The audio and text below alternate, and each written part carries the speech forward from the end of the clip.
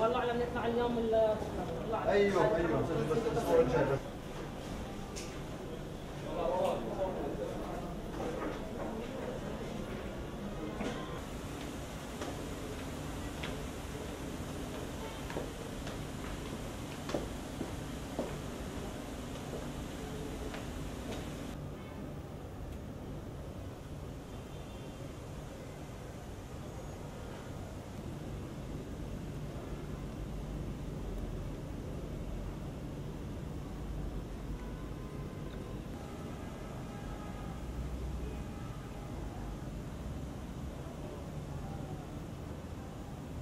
ما في تنافس سيء بين الزملاء. تنافس للافضل شو بقدم للمريض؟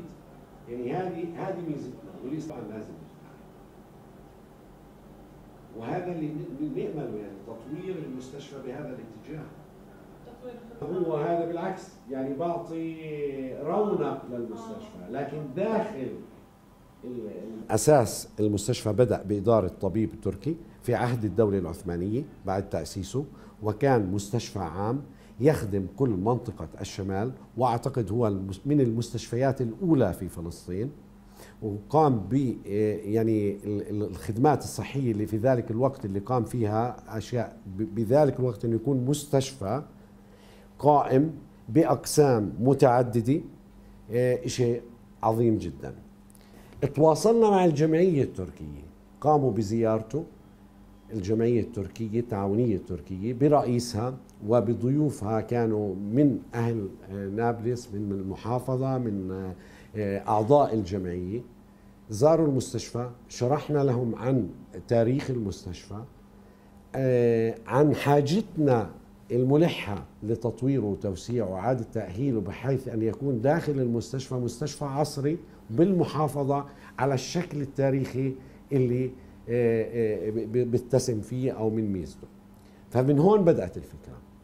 اهتمام من وزارة الصحة من إدارة المستشفى وأهل نابلس وإحنا يعني ارتباطنا في آه، الحكومة التركية وبقيادتها وتعاونهم واهتمامهم في الشعب الفلسطيني في أرض فلسطين وفي ومع آه، قيادتنا آه، اهتموا في الموضوع كثير وبدأنا بالتخطيط لذلك. إنه بيكون غرفي مع متطلبات المرافق الصحية اللي موجودة.